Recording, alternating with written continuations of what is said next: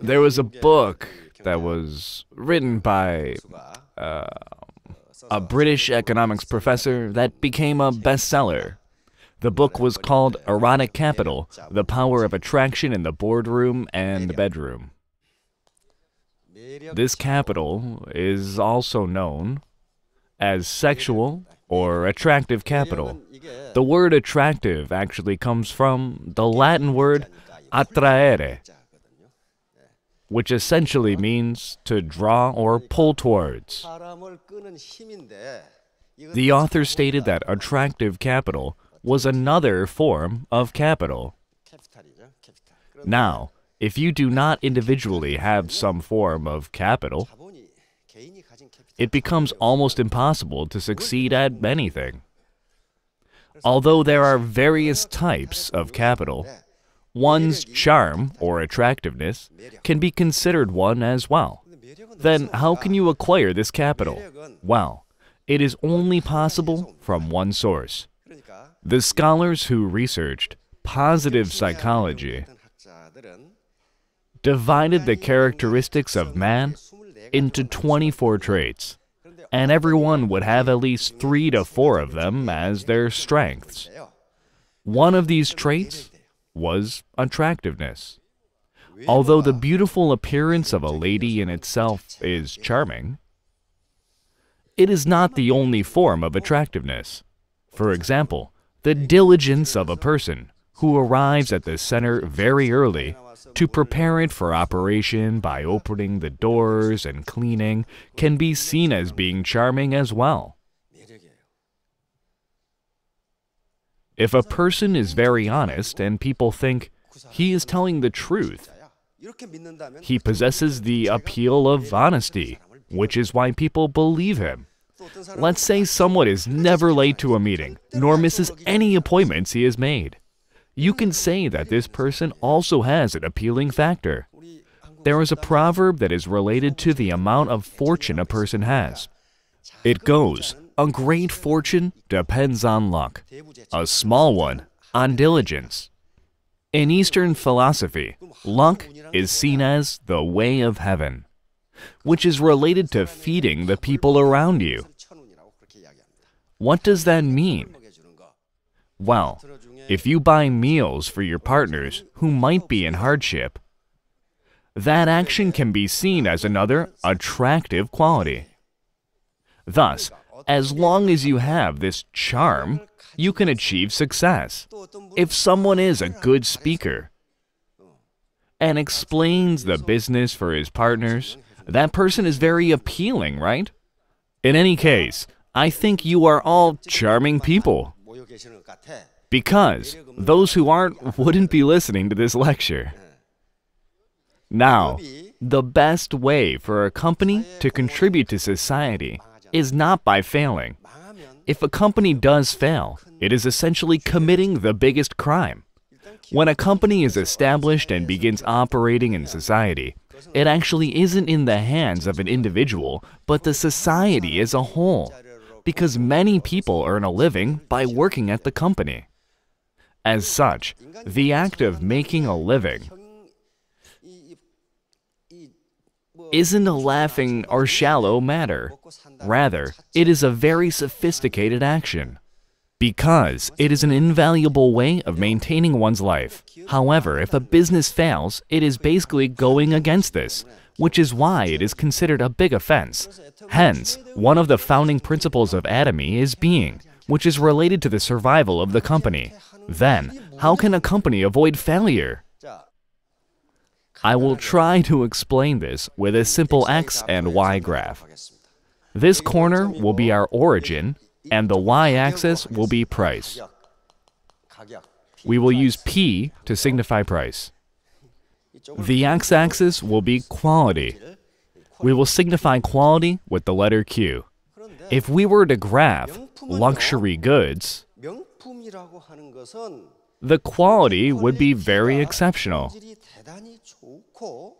And the price would be very expensive as well. We will represent that as P. Therefore, this point here would mark luxury goods. Since the quality of these goods are superior and the price is expensive, who would be the target market? The target would be the top 1%. For the 1%, as long as the quality is great, they will be willing to pay these high prices. In terms of their wallet size, the price doesn't matter. However, according to many studies, the top 1% are more likely to buy goods at higher prices and feel good about it. So, what do global luxury brands do with their price each year? They continue to raise the price at a fixed rate. As a result, no one thinks about buying something next year and just buys a product if they have the capacity to. Now, if the quality of the product was only this much and was sold at P, what would this be? This is essentially what happens at other MLM companies, which is why many people call it a scam. If anything, the price is higher. They might sell a dress shirt for 5K, even though the quality is only this much and the price is very high. Many people are fooled into doing this business because they think it will make a lot of money. Yet, these products themselves don't have any value. How can it have value without any quality? The price of luxury goods don't fall very often, even if it is a used product. Thus, these products have some form of worth, whether it is a displaying value or due to its quality. People feel satisfaction from just owning the product. In economics, this concept is known as utility. Normally, you get this sense of utility by actually using the product. However, the utility for luxury goods are not from their use. Instead, it is from the act of buying or showing off the product, which is known as conspicuous consumption. The utility one gets from such spending is very high. As a result, there is a class of people who enjoy quickly buying higher priced goods. I'm not saying this is good or bad, because we live our lives finding this utility. Now, for these people, they don't find it from its use, but rather in the consumption and possession of the goods. Hence, the luxury brands are consistent to this concept. Yet, when the quality is only this much and sold at a high price, there are a number of victims. Why is that? Although they would have found value if they had bought luxury goods, they are actually purchasing products that do not have any worth, which means someone will have to suffer. So, why are these products priced at this amount? It is due to the belief that money could be made in this manner. Unfortunately, they didn't earn money, failed, and many people became victims. As a result, if products of a lower quality then these luxury goods were sold at a lower price, like P1, people would be willing to buy them, and no one would be harmed. Hence, lower quality products being sold at a lower price would be okay as the goods aren't being overcharged. Now, what would happen if the quality was on par with luxury goods? But the products had a lower price that was set to P2. In this scenario, the luxury brands would go under. If the quality was very similar, or even if it was slightly lower, but the price was lowered substantially, these companies here would all fail. What kind of market would that be? I guess everyone's excited since you're just randomly adding Atomy to everything. This is what has happened in the current cell phone market. The saturation state of cell phone technology is very high in the market. There is almost no difference in technology between cell phones. It is generally just design differences. Even the applications have become so similar due to their development. Thus, if cell phones with similar technology are sold at a much lower price, these companies here receive a big blow. As such, even the world's greatest company can still fail. Then what does Atomy mean by absolute quality and absolute price?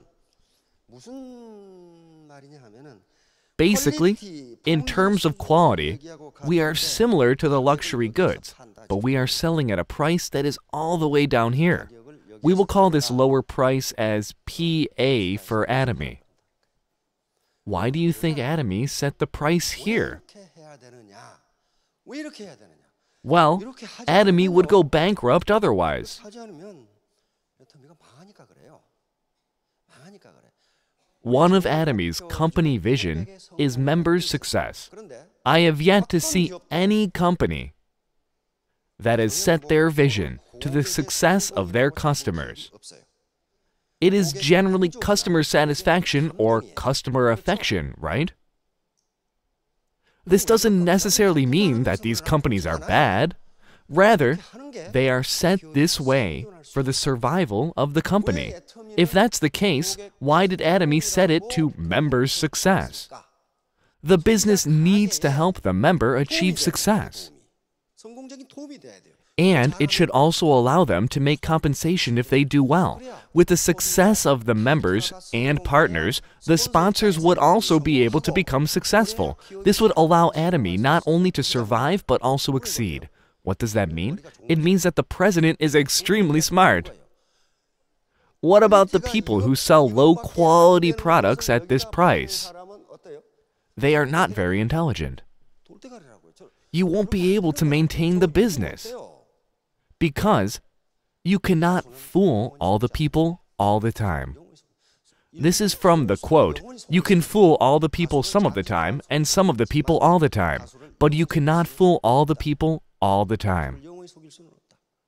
Thus, products that are of high quality need to be set to a price at this level if we want to survive and be in a state of being. An economics professor at the University of Chicago wrote a book that predicted that around 90% of jobs will disappear in about 30 to 40 years. Keep in mind that 30 to 40 years is not a lot. Basically, it will be the time when your children or grandchildren are already active in the job market, and they won't be able to make a living without today's jobs, because those jobs wouldn't exist, and they would be doing different things. So, if we want to be around 60 to 70 years later, we need to survive, right? If we aren't able to, what will happen to the creation of income or jobs? Hence, Atomy doesn't have absolute product and absolute price, which is essentially a policy for maintaining high quality at a low price. Out of the goodness of the heart, but because it is the smartest method, and the policy will allow the company to survive. It might not be the easiest way for Atomy contractors to make money. However, all the ways to easily make money are gone because the smart people have already taken them. Then, what course is left for ordinary people? Well, if you can reap what you sow, you would be doing something that is just and proper. It would be uncommon to earn more than the effort you put in, right? What happens if you earn less than that? You would think that it is extremely unfair. As such, Atomy is oriented towards reaping what you sow. In other words, you won't be able to earn money like a thug. There are many people who make money like this in society, but I have yet to see any of them live the rest of their lives happily. You can't earn money in this fashion. Which is why we always emphasize that you should never give up. The concept of super synergy of united heart is very important because you can't become successful by yourself in the atomy business. Super synergy of united heart essentially means that people become of one heart and work together. You can only succeed in this matter. Since this is a network marketing business, no matter how smart you might be, you are still just one node in the network. In the Atomy business, each downline or network becomes a shared capital. The bigger and stronger this network, the more money you can make due to the amount of capital you have, right? If the network is small or even if it is large, not sturdy, you won't be able to make money due to the lack of capital. The network itself is a form of capital. And many sociologists stress this fact. They call it social capital. The attractive capital is a capital that an individual possesses, while social capital is one that socially connects people with a network. The people within this network are connected with trust. Trust, as I explained earlier, is a type of charm. And if you don't have it, you won't be able to succeed. Now, relationship between Atomy's sponsors and partners are supposed to last for a long time, right? People who don't have any empathy and only think about themselves won't be able to work together for long. You need to have at least one of the 24 different traits. You can be hardworking, honest, good at keeping promises, excellent at cooking, or articulate when speaking. You need to have some form of capital, right? At the very least, you need to be innocent. Because people who are will listen to others.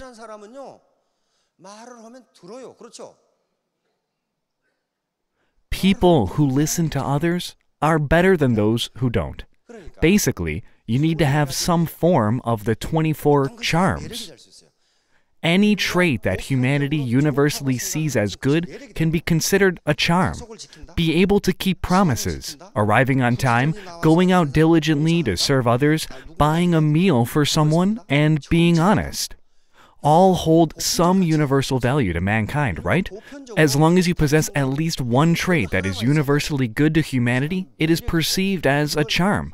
Thus, the positive psychologists believe that you shouldn't try to develop talent you don't have, but instead cultivate the strongest ability you possess if you want to achieve success. Hmm. For example, if you aren't good at speaking, you won't get better at explaining the business by studying. There is one royal leader who said, My specialty is driving, and did his best with that, while his sponsor explained the business for him.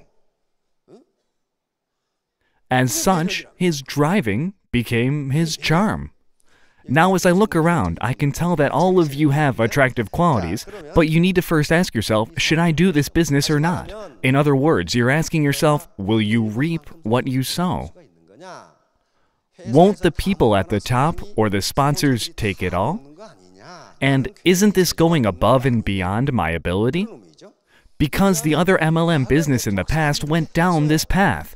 The longer you did the MLM business, the more products you had to store, since people wouldn't buy these expensive, low quality items that had no value or worth. You also have to ask yourself can someone like myself succeed? Because you might be a normal housewife or was an educator for 20 to 30 years, or even a public civil servant, even if you don't have any network marketing experience, you will be able to succeed as long as there is super synergy of united heart. If you try to do this alone, you will never achieve success. The third question is, what can I do to succeed? Although you won't be able to suddenly answer all three questions at once, you need to make these decisions on your own. If you think about what is necessary for a decent job, you know that you need to, at least, study for four years at a college. So, how can you learn everything in just two days at the Success Academy? You would only be able to scratch the surface in those two days and require continuous interactions with your sponsors to understand it better. Moreover, you shouldn't listen to what others say about this business. Instead, you need to research it on your own and make the final decision yourself. If you believe it to be a scam, then don't do the business. Yet, if you think it isn't, then you can decide to do it. There are three types of disciplines that are necessary for success, and it is impossible to be successful without these studies. The first discipline is having a cool head, which is the ability to make rational and level headed decisions. Not only do you need a cool head, but you also need a warm heart, which is about showing kindness to others. In essence, you use your attractiveness and care for the people in your downline. People who only think about themselves can't live a good life. The last one is busy hands and feet, which is about diligence and taking action. Only when you have mastered these three disciplines can you achieve success. Hot headed people are just noisy and don't accomplish much. All they do is create trouble and make things worse.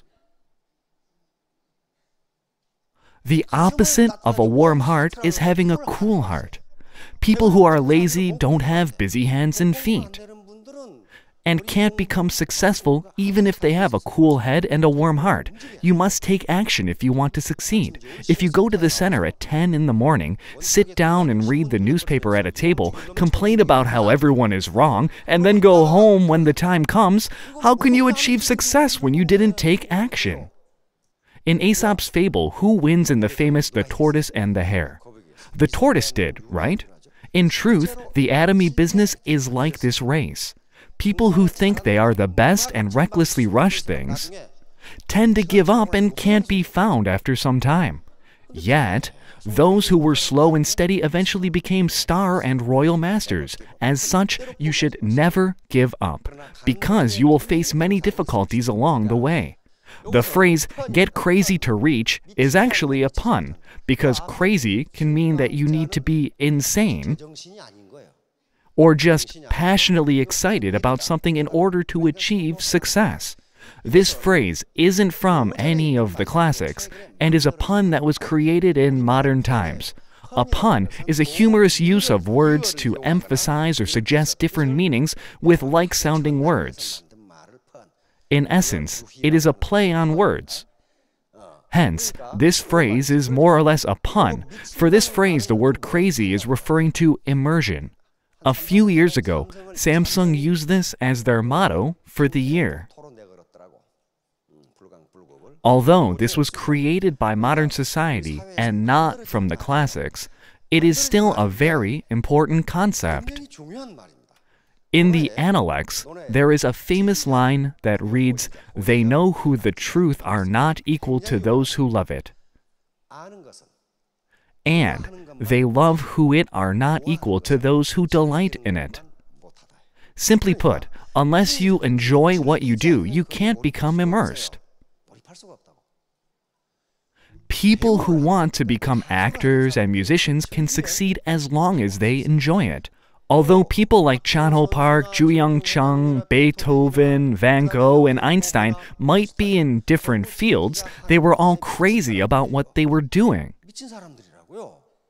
As such, they were able to achieve success in their respective area of expertise.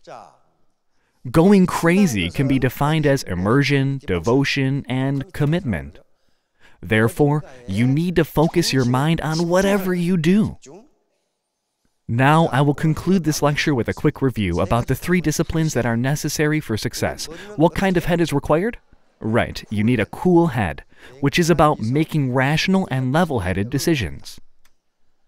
If you joined a company that sold low quality products at expensive prices, like in our example, it means that you don't have a cool head, right? Right? Rationally thinking, you will realize that this won't work. Only people who are rash and hot headed would do this. What about your heart? A warm heart is required. In other words, it is about the success of the members and partners, as well as your consumers, by providing help to their domestic economy.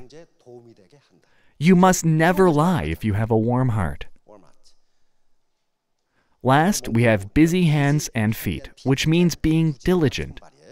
You can't be hardworking with just your mouth and say, he did this, she did that, everyone is wrong. You need to do what you think. Rather, you need to be active with your entire body.